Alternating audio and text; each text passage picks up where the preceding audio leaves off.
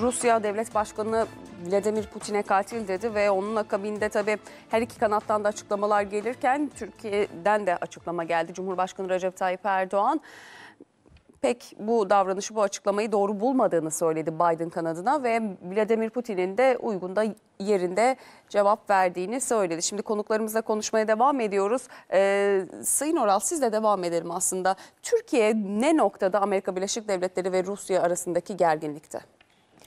Şimdi e, Biden'ın burada bir e, oynadığı rol var. O da öyle anlaşılıyor ki e, Reagan dönemini e, andıran bazı davranışlar sergiliyor. Yani bir Reagan e, karakteri çizmek istiyor. Çünkü e, Biden aslında e, pazarlık öncesi Rusya ile oturacağı o pazarlık öncesi sert bir e, hareket yapma derdinde.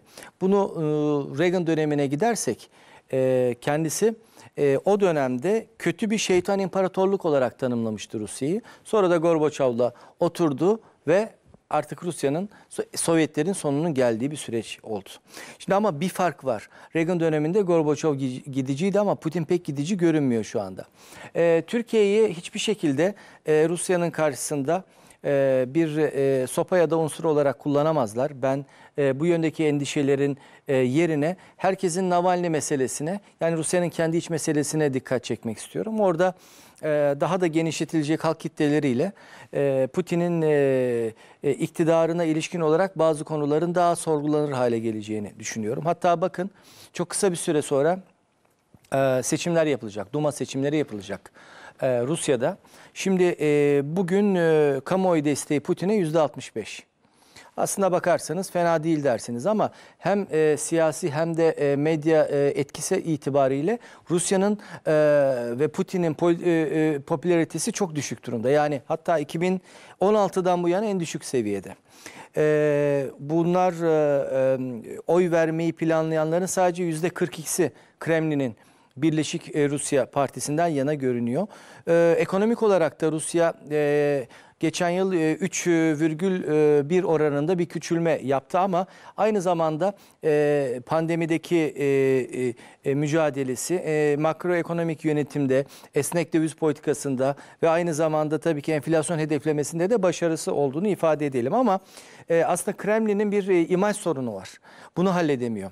Şimdi e, e, Navalny'nin e, e, internete koyduğu ve Putin'in e, sarayı olarak gösterdiği o video 115 milyon Rus tarafından izlendi. E, Ruslara göre Putin yönetiminde yolsuzlukla ilgili ciddi bazı e, e, konular söz konusu.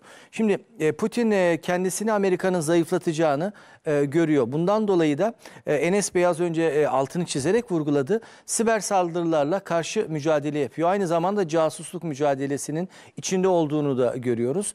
E, eğer e, Biden-Harris hükümeti ortaya bir tablo koyarsa, somut bir belge koyarsa Putin'in aleyhine bu imaj daha da değişecek kuşkusuz. Şimdi Amerika e, Moskova'yı izo, izole etmek istiyor. Hedef burada. E, tamamen bölgeden e, böl, çıkarmak istiyor. E, yani öncelikle Akdeniz tarafında ve çevresinde istemiyor net bir şekilde. Onun dışında da tabii e, katil sözü farklı bir e, mesele. Biliyoruz ki Putin uzun ne süre farklı KGB'de görev yapan bir isimdi.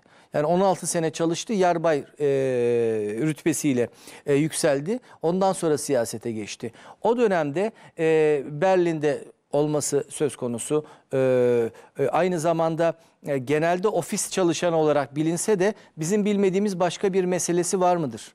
Yani KGB ajanı olarak ayrıca eylemlerin içinde olmuştur da Rusya bu yönde bir e, görüş mü e, belirtmektedir ve e, Amerika veyahut sadece seçimlere siber saldırı yapıp e, özellikle de Clinton'ın kaybedip Trump'ın kazanmasında etkin rol oynadığı için seçim katili midir? Yani bu katilin altında ne söz konusudur? Bunu merak ediyoruz. Tabii bir de Biden'ın ufak bir kuyruk acısı söz konusu. Çünkü e, Ukrayna'da oğlunun bütün ticari ilişkilerinin olduğu yönündeki bütün bilgilerin e, Trump'a e, Putin üzerinden ve Rus istihbaratı üzerinden gittiği inancı var. Bunun da değerlendiriyor. Şimdi tabii bu kanıt nedir onu bekleyeceğiz. E, oradaki konuşmalara baktığımızda Putin'in e, Biden'ın e, telefonla Putin'le e, görüştüğünü orada sen beni iyi tanıyorsun ben seni iyi tanıyorum. e, eğer senle ilgili bu e, belgeler ortaya çıkarsa olacaklara hazır ol dedim diyor o ABC röportajında. Şimdi dolayısıyla burada e, çok ciddi bir e, müdahale mi gelecek? Yani e, bu yönde Rusya'nın e, dış siyasetine ve politikasına tabii kelimeler de o füzeler gibi havada uçuşuyor. Yani buna e, e, dikkat etmemiz lazım. E, az önce dile getirmeye çalışmıştım. E, CIA'nin başına son derece Putin uzmanı bir isim geldi Burns. Bu da hem e, Rusça hem e, Arapça ana dili gibi konuşan bir e, kişi. Yani Rusya'yı yakın markajını aldı yani Amerika Evet. Birleşik Devletleri her açıdan. Bunu mu söylemek? Yani Rusya'ya yönelik e, şimdi dünyadaki operasyonları yapan CIA üzerinden yapar.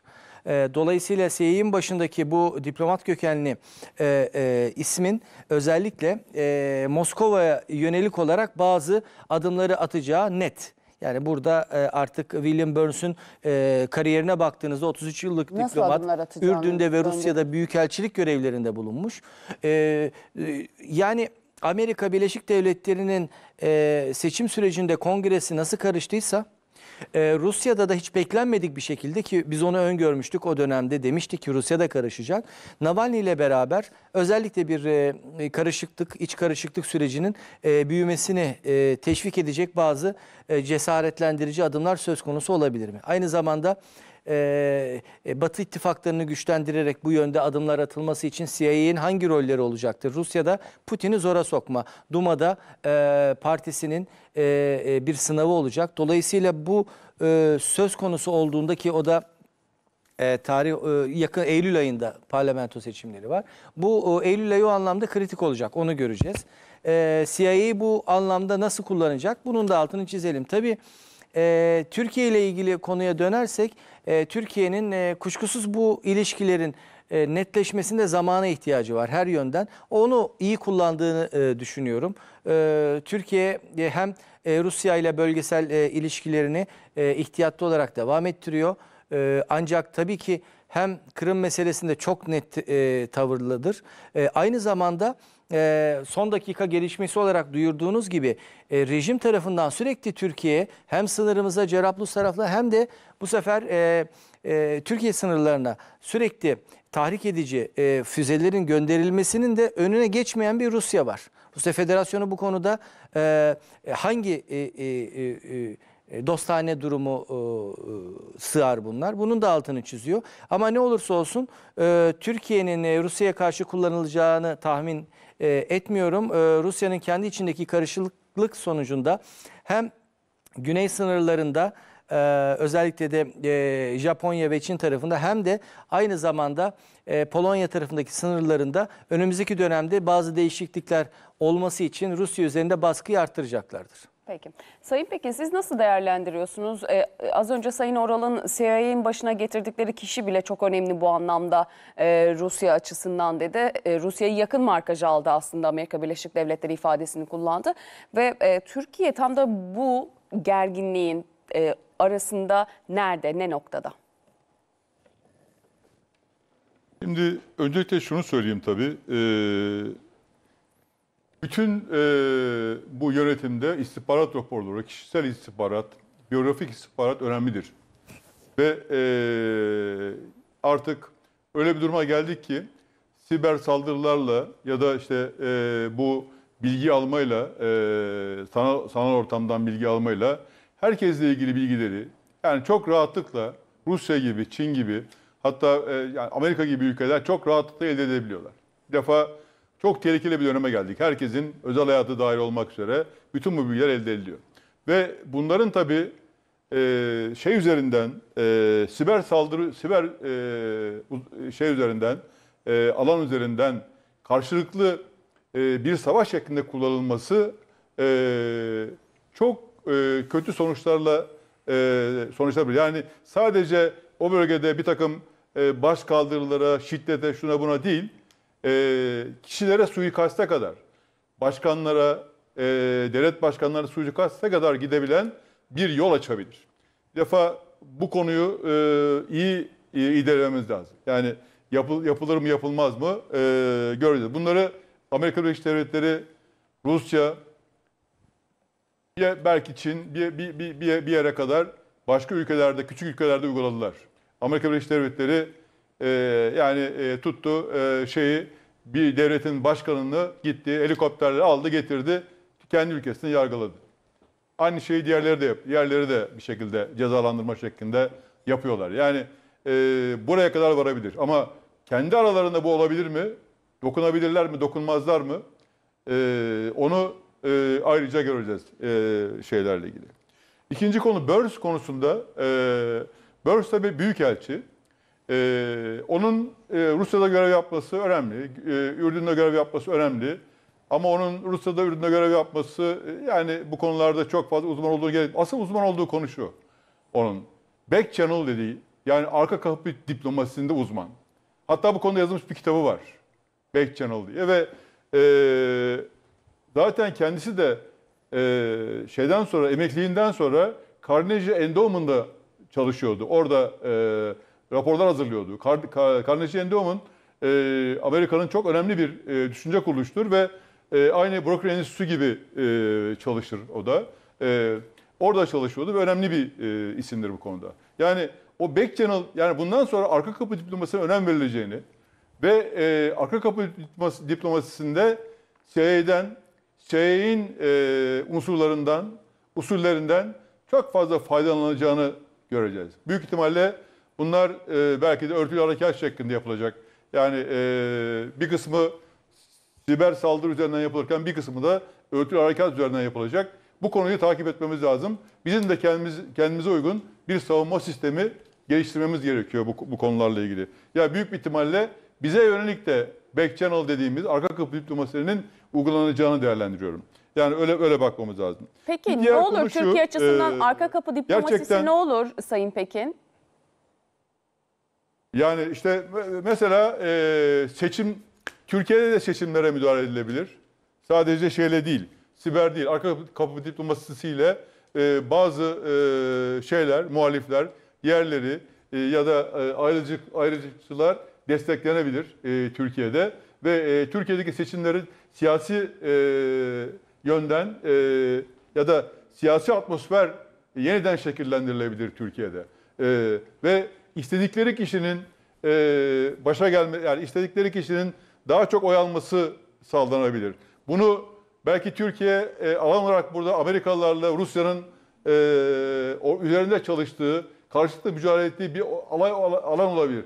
Söylerken bunları sö- e, söylemiştim. Yoksa Türkiye'nin kullanılmasını değil ama bunları e, ifade etmiştim. Yani bizim üzerimizden e, bu aynen şeyde olduğu gibi, Küba krizinde olduğu gibi Türkiye'de e, füze konmuş, Küba'da füzeler var. Bizim haberimiz bile olmadan iki ülke anlaşıyorlar ve füzeler kalkıyor e, tekrar. E, oradan kaldırılıyor ve iki ülke e, bizim üzerimizden bir pazarlık yapıyor. Yani kastettiğim konu buydu aslında. Bu ve buna benzer konular. Yani bu e, Türkiye'deki siyasi yapıyı şekillendirebilirler. İç siyaseti şekillendirebilirler. Bu arka kapı diplomasisiyle. Ve e, bu konuda çok sayıda e, değişik e, şey gelebilir. E, CIA'de çalışan unsurlar gelebilir. E, Dışişleri Bakanı'ndan unsurlar gelebilir.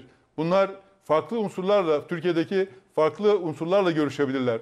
E, muhalefet liderleriyle, e, şeylerle, e, işte e, ne diyelim, Sivil toplum. ee, diğer kanaat önderleriyle ondan sonra e, işte ayrıcalıklı ayrı- ayrıcalıklı gruplarla Türkiye'nin üzerinde çalıştığı e, yani hala devam eden FETÖ e, unsurlarıyla bütün bunlarla e, görüşüp ortaya e, Türkiye'yi şekillendirecek bir seçim döneminde şey seçim döneminden evvel yani bu 2023'te mi olur? Başka zaman mı olur bilemem ama normal seçimlerin yapılması 2023. 2023'e kadar o zaman zarfında bu konuda şekillendirmeler yapılabilir. Onun için buna bakmamız lazım. Yani asıl Burns'ün ana konusu bu. Back channel konusunu gerçekten çok iyi biliyor ve bu konuda kitap yazmış. Aslında bu kitabın da herhalde e, sanırım e, büyük ihtimalle ben düşündüğüme göre sayın devlet büyükleri de bunu aldırıp gerek, gerekeni, e, gerekeni inceliyorlardır. İstihbaratımız da e, şeyle ilgili, e, Burns'le ilgili gereken e, araştırmayı, biyografik istihbaratı yapmıştır ve üzerinde çalışıyordur. Eserlere dahil olmak üzere, e, o oralarda yaptıkları dahil olmak üzere hem e, Ürdün'de hem de diğer yerlerde. Çünkü e, bu bizi aynı zamanda Rusya olarak ilgilendirmiyor. Aynı zamanda e, Suriye'deki sorunlarımız dolayısıyla da ilgilendiriyor. Yani Suriye, Orta Doğu'da işte e, Katar'la ilişkimiz, Birleşik Arap Emirlikleri'nin e, Türkiye olan tutumu, e, Suudi Arabistan'ın durumu, e, Ürdün vesaire falan, e, Lübnan dahil olmak üzere bütün e, o bölgedeki konularla ilgili bizi de ilgilendiriyor. Tabii e, doğrudan olarak da e, Akdeniz'le ilgilendiriyor. Doğu Akdeniz'le ilgilendiriyor. Niye Doğu Akdeniz'le ilgilendiriyor? Doğu Akdeniz'e baktığımız zaman e, Amerika Birleşik Devletleri Rusya'nın Doğu Akdeniz'e e, daha da güçlenmesini istemiyor. Yani evet sıcak denize indi. Doğu Akdeniz'de limanları var. E, Libya'da da e, e, etkisi var.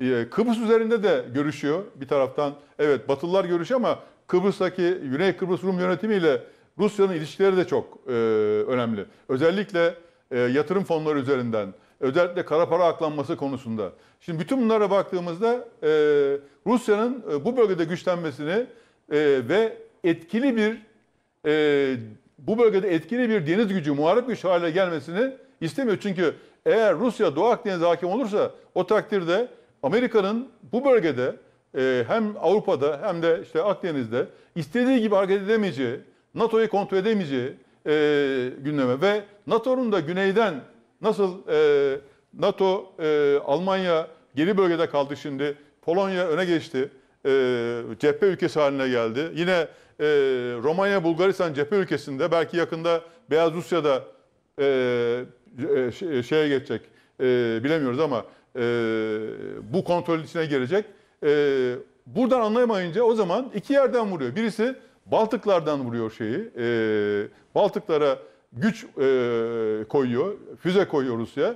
Bir de e, şeyden e, Avrupa Avrupa'nın güneyinden tehdit ediyor donanmayla. Şimdi bu iki iki konuyu gündeme geldiğimizde yani e, Amerika Birleşik Devletleri Rusya'yı e, Karadeniz'den, Kafkaslardan ve e, Doğu Avrupa'dan e, şey yapmaya çalışırken, sıkıştırmaya çalışırken, çevirmeye çalışırken, çevrelemeye çalışırken bu arada Rusya'da şey üzerinden e, Doğu, Ak- e, Doğu Akdeniz üzerinden Avrupa'yı, NATO'yu e, kuşatmaya çalışıyor. Yani böyle bir durum var. Aynı şekilde Rusya'nın Afrika'daki faaliyetlerini de e, bir tarafa yazmamız lazım. Konu çok uzun tabii ama e, yani bütün bunları düşündüğümüzde e, bir de e, en son biliyorsunuz Çin'le Alaska'da e, şeyin ABD'nin toplantısı var. O toplantıda e, biliyorsun e, şeyde e, Çin e, sözcüsü konuşurken e, konuşma esnasında basın dışarı çıkartıldı. 2-3 dakika sonra ama bir de karşılıklı atışmalar oldu. Atışmalarda Çin özellikle e, yani Xinjiang konusunda, Hong Kong konusunda, Tayvan konusunda, siber saldırılar konusunda Çin'in çok önemli şeyleri var. O, işte diyor ki e, bir e, devletleri e, darbe yap deviren sizsiniz. Biz sizden öğrendik. E, şeyi başlatan, siber saldırıları başlatan sizsiniz. E, ondan sonra e, şeyi e, ilk defa e, soykırımı uygulayan sizsiniz. E, bunları da e, sizden öğrendik. Bütün bunları e, tek tek e, anlatıyor şey. E, ve buna buna kızıyorlar e, Amerikalılar ve e, basını çıkartıyorlar orada. Yani bu şekilde çok büyük bir e, çatışma alanı var. E, yani sadece şeyle değil, e, Rusya ile değil. Bu arada Çin'le de büyük bir çatışma alanı var ama e, Amerika'nın hedefe koyduğu konu, ilk konu Rusya'nın çevrelenmesi. Niye? Çünkü Rusya'nın e, silah sistemleri daha önemli ve Rusya e, Çin'den daha acil bir tehlike arz ediyor. Çünkü Çin rakip ama şu anda asker olarak tehdit değil. Belki de e, yavaş yavaş e, işte ekonomik gelişmesi vesairesi falan bir şekilde kontrol edilebilir hale gelebilir. Peki. Böyle bir öyle bir değerlendirmeleri var. Ama Rusya'yı halletmeden, Avrupa'yı sağlam almadan çünkü Avrupalıların da istekleri var. Diyorlar ki Avrupalılar biz Çin'le e, biraz evvel e, arkadaşımızın birisi söyledi, değerli konuşmacıların birisi söyledi. E, dedi ki şey e, aynı zamanda Çin e, bir şey meydana getiriyor. Yani bir e, ortam yaratmaya çalışıyor. E, bu ortamı bu ortamı bozmaya çalışıyor şey e, Rusya. Düzeltiyorum. e, Amerika Birleşik Devletleri. Bu ortamı boz- bozmasında en önemli konu Rusya'nın bir şekilde öncelikle e, çökertilmesi. Nasıl çökertilecek? İşte Kuzey 2 e, Kuzey 2 e, Kuzey Akım 2 projesi var. Türkiye üzerinden giden projeler var Avrupa'ya. Yani bunlar hep kullanıma açık. Yani bunlarla ilgili siber saldırılar olduğu zaman bir anda e, Türkiye veyahut da e, Avrupa veyahut da başka yerler şeysiz kalabilir. E, doğal gazsız kalabilir. Yani şu anda buna buna uygun bir şey yok. E, evet çalışmalar var ama likit gaz dahil olmak üzere çalışmalar var. Yeni boru hatları falan diye düşünüyor ama şu anda e, böyle bir şey olduğunda bir anda e, şeysiz kalabilir e, bölge. Doğal gazsız kalabilir. Bu ve buna benzer çok önemli konular var. Öncelikle e, Rusya'yı e, çökertmeye ya da Rusya'yı zayıflatmaya çalışıyor. Büyük ihtimalle daha sonra da Çin'e dönecekler ama Rotasını gerçekten Çin ekonomik olarak çok Peki. büyük. Zaten şeye baktığımızda tamamlayacağım efendim. Şeye baktığımızda e, büyüme sınırlarına baktığımızda e, Amerika'nın 2-3 katı büyüyor Çin her seferinde her yıl. Dolayısıyla e, Çin'in ekonomik olarak Amerika'ya geçeceği açık. Ama Çin e, askeri Çin askeri ya da Çin'in sahip olduğu silahlar şu anda e, Amerika'yı alt edecek e, yeter- yeterlilikte değil. Bir defa Amerika bunu çünkü Amerika aynı zamanda bu dona, silahlarıyla, donanmasıyla bütün denizlere hakim durumda. Çin de onu önlemek için işte bir yol bir kuşak projesi yapmış durumda. E, dolayısıyla böyle bir arada sorun var. Ama bu bu mücadelenin Çin'le kıyasıya başlamasından önce bir şekilde e, diğer tehdidin azaltılması, Avrupa'nın e, ve kritik bölgelerin e, kontrol altına alınması gerekiyor. Şu anda Amerika'nın yapmış olduğu öncelik sırası budur diye değerlendiriyorum.